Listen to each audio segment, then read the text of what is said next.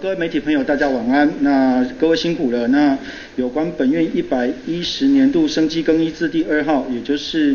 李义祥先生涉嫌过失致死罪嫌案件，那本院刚才裁定李义祥先生是从今天，也就是一百一十年四月四日起羁押二月，然后禁止接见通信，还有收受物件。那原那个理由是，呃，本件经法官。哦，讯问之后参考，哦卷里面包含检察官历次提出的资料，那还是哦我们仍然认定，哦李义祥先生涉犯刑法第两百七十六条的过失致死罪嫌重大。那沈卓这一件案件是涉及公共工程的承揽契约、施工厂商还有监造单位，还等一些有关的人是很多的。然后被告跟施工厂商之间的关系是什么？有必要要等。哦，侦查机关分析资料之后，才能进一步的实施相关的侦查作为。在侦在审酌，哦，李义祥先生有之前有曾经指示员工绘图，而有行使业务上登载不实文书哦的情事哦，所以认为有事实足认，哦，李义祥先生有湮灭、伪造、变造证据或勾串共犯或证人的高度风险。那而且这一些不是依照。不是用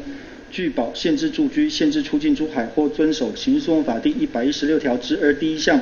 各款的事各款的事由，就可以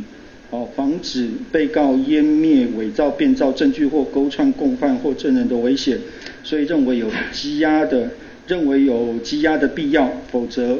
认为有显然是进行诉追，所以我们裁定被告李义祥先生从今天开始。啊，羁押二月啊，并禁止接见通信及售售物件。这是本院生机更一呃一百一十年度生机更一字第二号裁定的理由概述。昨天是交保，但是今天呃却是一个羁押，是这样的一个理由，为什么会有这么大？啊，那因为就那个就上级审哦，也在上级审也是台湾花台湾高等法院花莲分院撤销发回本院所指摘的事项，不管是在要件。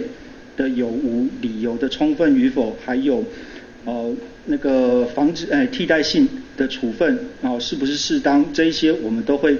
详细审酌，再加上那个检察官历次都有提出一些资料还有说明，所以我们重新审酌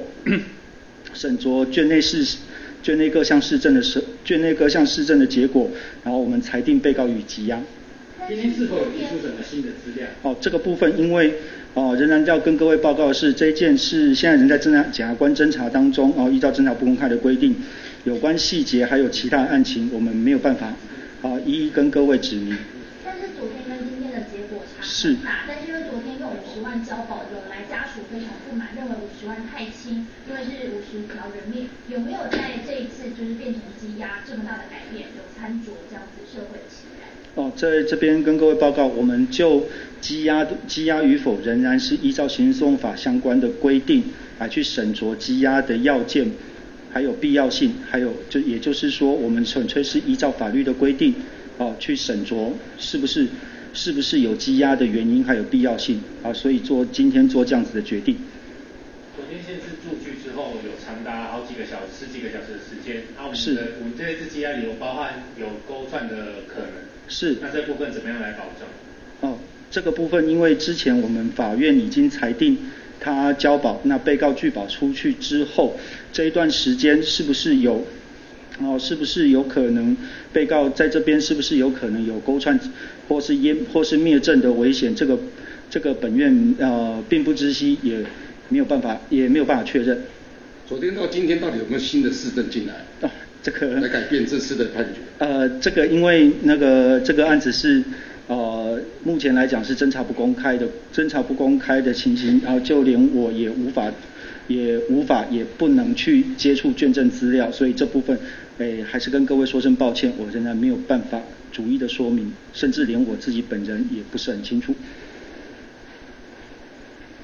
就他本人知道这个抗告的这个结果之后，他有表示什么？哦，这个部分因为是在法庭里面发生的事情，其实啊，因为我不呃并非陈审法官，所以我并不清楚。